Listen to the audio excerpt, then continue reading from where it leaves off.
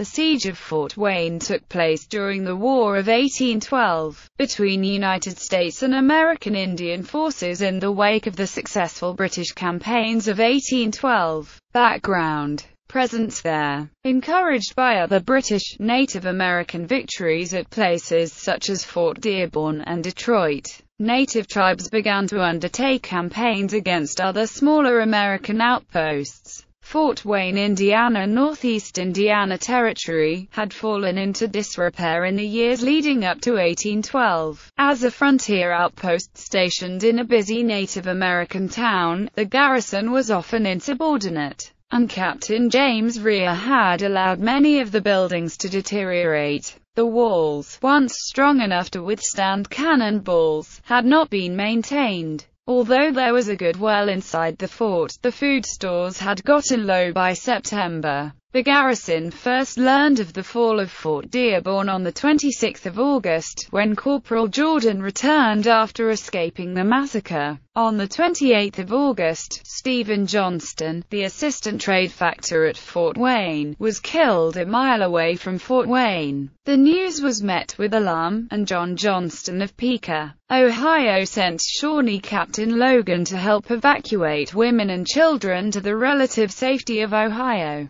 In September 1812, Indians from the Potawatomi and Miami tribes, led by Chief Winnamuk, gathered around Fort Wayne. Captain James Rhea sent letters to John Johnston and Ohio Governor Return Meigs to ask for assistance. The growing Indian threat outside the fort led Rhea to begin drinking heavily. On several occasions Rhea invited Indian delegates into the fort to discuss terms of peace with the Indians. On 4 September, Potawatomi chiefs Winnamuk and Five Medals approached the fort under a flag of truce and asked to speak to Captain Rhea. Rhea, who had been drinking, met them at the gate and asked if they were meeting for peace or war. Winnamuk replied, I don't know what to tell you, but you know that Fort Mackinac is taken, Detroit is in the hands of the British. Rhea declared Winnamuk to be his friend, and invited him back for breakfast the next day. Winnamuk interpreted feigned friendship as cowardliness, however, and prepared for battle. Siege Morning 5 September, the siege began when Chief Winnamuk's forces attacked two soldiers returning from an outhouse. The Native Americans assaulted the fort from the east side and burned the homes of the surrounding village. The Indians constructed two wooden cannons and were able to trick the garrison into thinking they had artillery besieging the fort as well. Captain Rhea was again drunk, and took to his quarters, sick. The Indian agent at Fort Wayne, Benjamin Stickney, was recovering from an illness, but took command of the fort with Lieutenants Daniel Curtis and Philip Ostrander organizing the defense. Chief Winnamuk came to the gate again that evening, and was admitted unarmed with 13 of his men. As they talked, Winnamuk revealed a knife that he had hidden, and a fur trader, Antoine Bondy, jumped forward to save the life of Stickney. Winnamuk left the fort, and the Native American forces opened fire at about 8 o'clock p.m. Winnamuk's forces tried to set the fort on fire, and while the garrison, about 70 soldiers and some civilians tried to keep the walls wet, they returned fire with muskets and howitzers. The battle lasted until 3 o'clock in the afternoon on the 6th of September, when the American Indian forces retired to a safe distance from the fort. The fighting resumed at 9 o'clock that night. Relief efforts were already underway to reinforce Fort Wayne after the news of Fort Detroit reached Newport Barracks. General James Winchester was commander of the Northwestern Army. But Kentucky Governor Charles Scott had just appointed Indiana Territory Governor William Henry Harrison as Major General of the Kentucky Militia and authorized him to relieve Fort Wayne. And Harrison was at Newport Barracks to assume command of the militia. Harrison wrote a letter to Secretary of War William Eustis explaining the situation and apologizing for taking unauthorized action then quickly organized a militia force of 2,200 men and marched north to the fort. A small scouting party led by Fort Wayne sutler William Oliver and Ohio Shawnee Captain Logan arrived at Fort Wayne during a lull in the fighting, and raced through Winnamac's army into the fort. They delivered the news that a relief effort was underway, and again rode through Winnamac's siege to report to Harrison that the fort was still under U.S.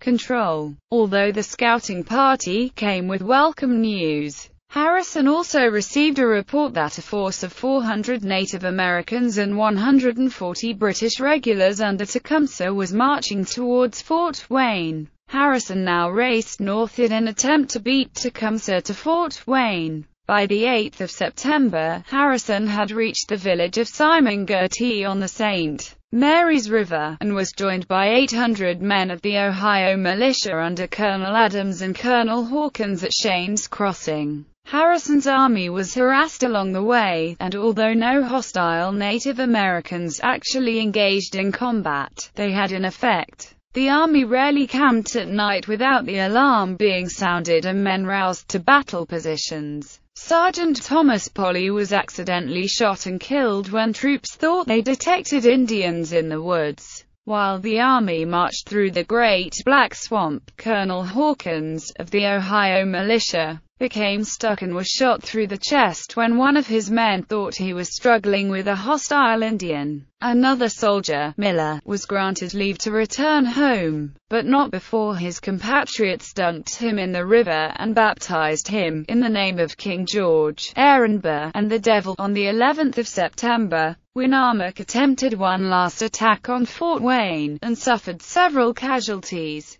Suddenly, on the 12th of September, the attack was broken off, and Winnamac's forces crossed the Maumee River and disappeared into the woods. Harrison's relief army marched towards the fort, uncontested by Winnamac. The Potawatomi, Miami force retreated into Ohio and Michigan Territory. Harrison took Rhea's sword and had him arrested. A board of inquiry was convened, but allowed Rhea to resign out of respect for his years of service. Harrison then placed Lieutenant Philip Ostrander in command of the fort. Punitive expeditions On 14 September, Harrison sent out two divisions from Fort Wayne with orders to destroy any Native American village they found as punishment for the siege on Fort Wayne. General Harrison and General Payne led this division to the forks of the Wabash which had become an important Miami town since the establishment of Fort Wayne, Indiana 1794. The division marched uncontested to the Forks, which was evacuated when they arrived. The village surprised many in the Kentucky militia, whose houses and towns were not as well built as this Miami town. The town was completely destroyed, as well as any crops that they Miami had not had time to remove. Other villages nearby were also destroyed, and some men in the division robbed the wooden tomb of a recently deceased chief before burning it. No American Indians were encountered, and the division had no casualties during their expedition. The 2nd Division was composed of two infantry regiments under Colonel Samuel Wells and Colonel Scott, as well as a cavalry regiment under Colonel Johnson and mounted militia from Ohio under Colonel Adams.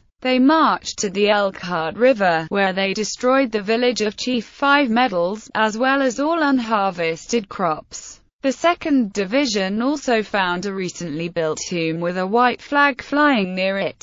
It contained a female corpse sitting upright, and was filled with artifacts.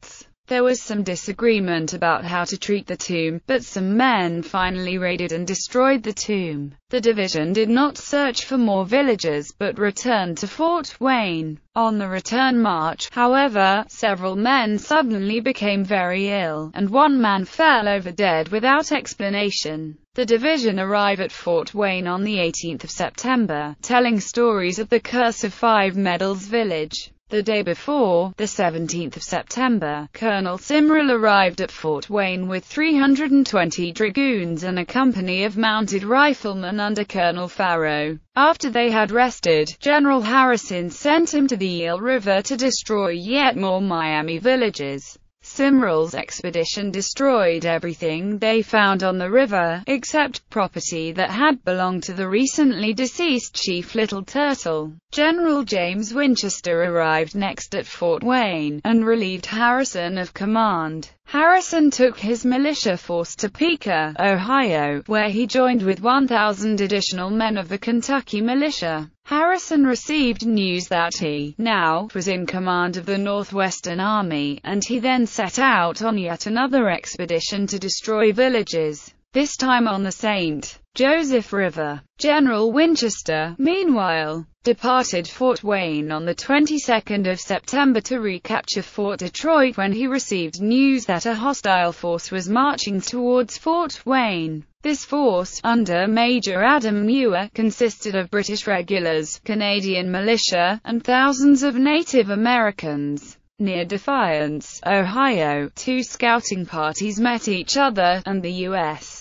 scouting party was captured. The five men under Ensign Liggett were marched partway back to the British camp, then killed. Their bodies were later discovered but two separate parties of men who had been sent to retrieve the bodies suspected traps and returned to the American camp. Winchester finally sent a large contingent of militia under Captain Garrard, which engaged hostile Native Americans, but finally retrieved the bodies of the dead scouts. When General Harrison learned of the British Army marching towards Fort Wayne, he rushed to join General Winchester. The two armies combined forces on the 2nd of October, and Muir withdrew to Canada. Fort Wayne, meanwhile, became endangered when both General Harrison and General Winchester left. Harrison ordered Colonel Allen Trimble to Fort Wayne with 500 mounted militia and a company of dragoons. A band of American Indians threatened the fort, but they fled at the approach of Trimble's dragoons.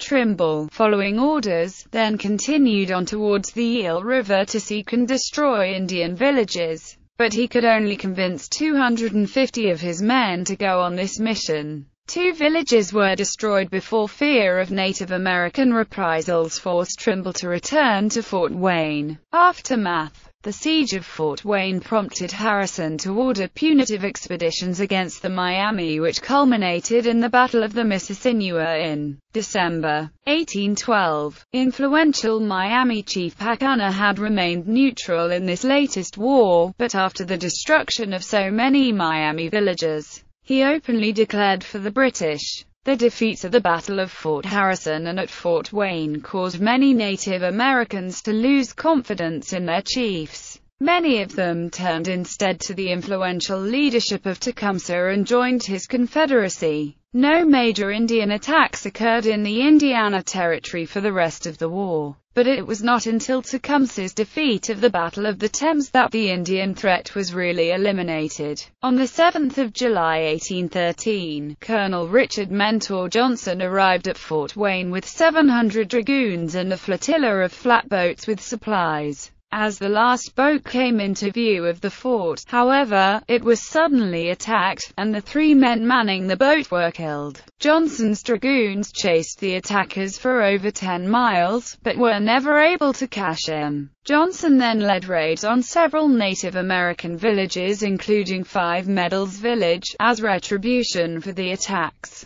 but all of the villages were evacuated as the army approached, and a heavy summer rain kept the dragoons from burning any villages. Frustrated with his failure to encounter any Native Americans, Johnson escorted the empty flatboats back to Ohio. Unknown to him, a force of over a thousand Native Americans under Robert Dickson passed through White Pigeons Town on their way to join Tecumseh at Detroit just days after Johnson had tried to destroy the village. Three active battalions of the current 3rd Infantry perpetuate the lineage of the old 1st Infantry Regiment, which had a detachment at Fort Wayne.